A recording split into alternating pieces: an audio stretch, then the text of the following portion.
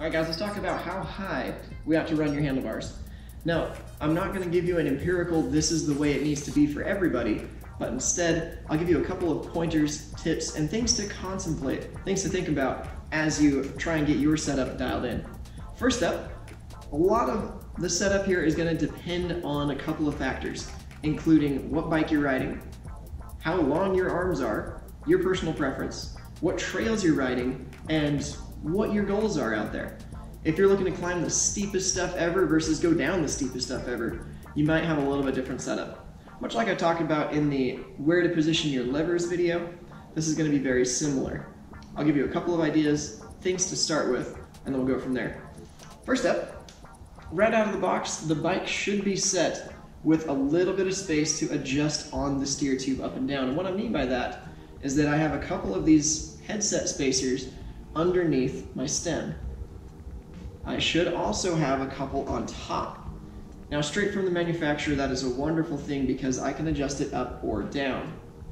I can also adjust it based on what rise is on the handlebars. Now this particular handlebar is an ENVE M6. It is set at a 20 millimeter rise. Some riders need to go with a little bit higher rise bar. For example, if you have lower back problems and you don't want to bend over as far, good idea to run a higher rise bar or set your stem up a little bit higher on the steer tube. Others need to run a little bit lower. That might include a cross-country racer who needs to get the most efficiency they can out of their bike. Turns out, further over you are to a point, the more efficient you can use your glutes and other mega muscles.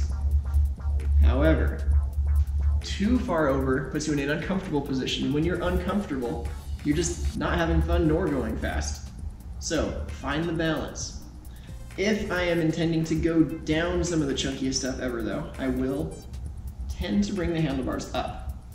For example, Ripmo over here is running quite a few spacers underneath the stem.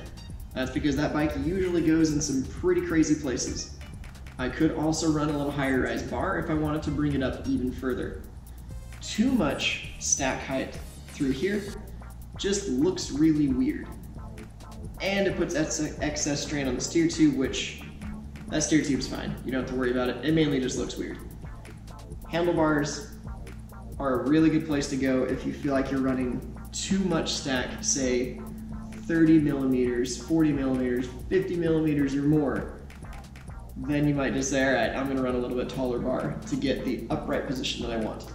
But let's see what that position looks like when I'm actually up on the bike. So, in an attack position, you can see that I'm fairly balanced. My weight is centered, I'm not too far over the front. If this bar were this low, that would be really awkward.